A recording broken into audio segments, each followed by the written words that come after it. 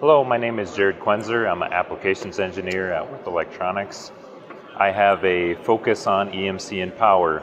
And today I have a demo where we're going to look at EMI on a flyback converter and how to fix that.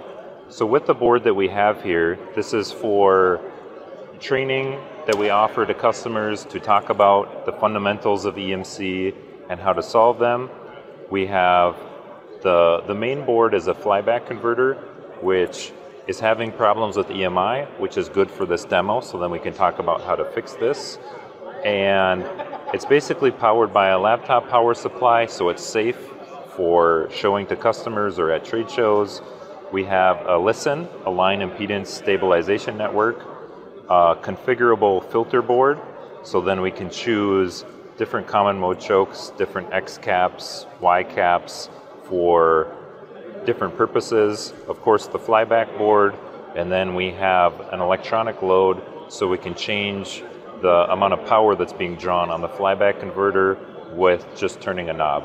So right now we have this 5 volt 1 amp output and let's run a baseline test to see where the noise is using this Rohde & Schwarz test receiver and we'll do a baseline test and then we'll talk about a couple different techniques that we can use to basically solve this noise.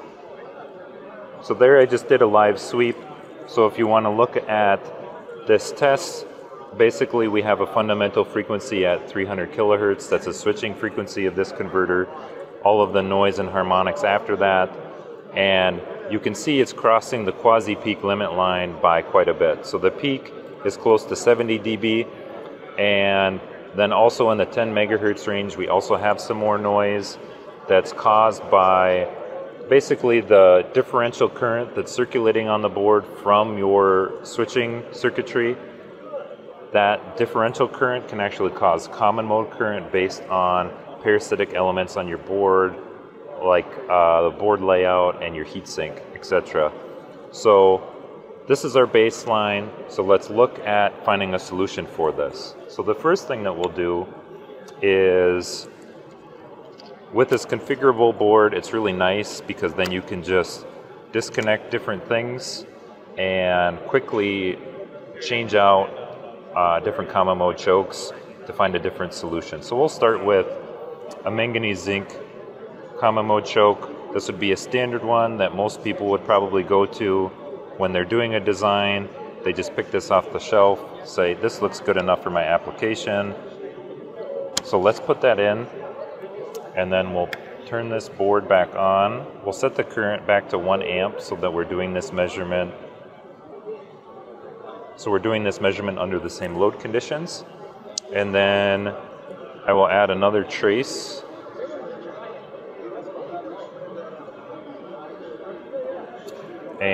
and run.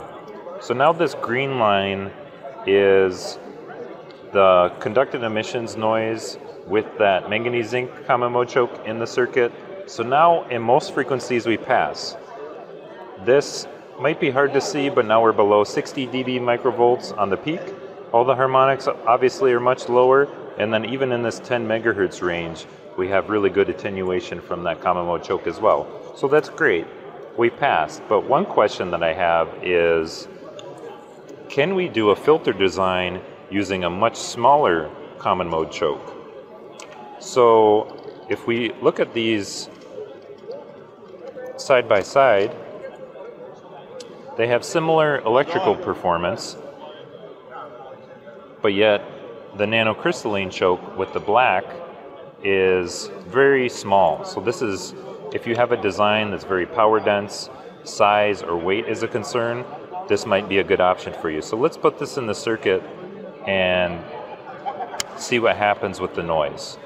So again, we'll power it up and turn it to 1 amp again. And then I'll add another trace so we can compare that.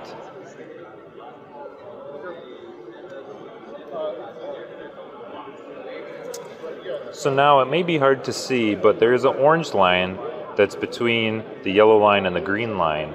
So as expected, this nanocrystalline core isn't quite as good as the manganese zinc core, but just by looking at the size, that would be expected because you can only get so much inductance and impedance out of a certain size package. But for the size, it seems to be doing very good.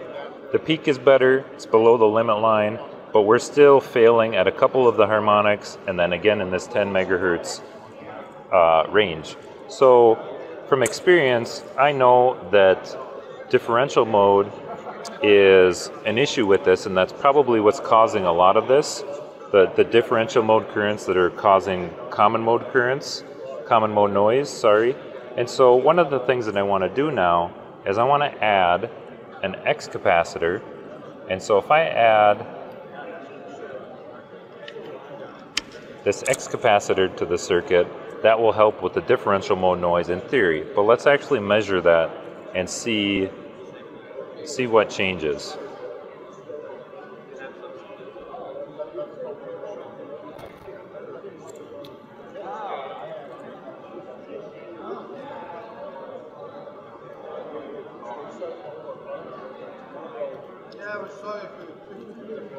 So now the purple line you can see is very good. It's the lowest of all these lines. The peak is below 50 dB, which is passing with a nice margin. All the harmonics are passing with a nice margin, and especially in this 10 megahertz range, you can see how low that line is. It may be hard to see, but in most of the frequency range, besides the peak and the harmonics, everything is pretty much below 30 dB microvolts. So by using uh, much smaller nanocrystalline mode choke and an X, X capacitor. It's a competing solution with the manganese zinc core. So in summary, that's the demo. With this demo, we can also look at other things as well. But the main thing I wanted to look at today was A, how to design a filter, and then B, how to design the most power dense filter possible. Thank you.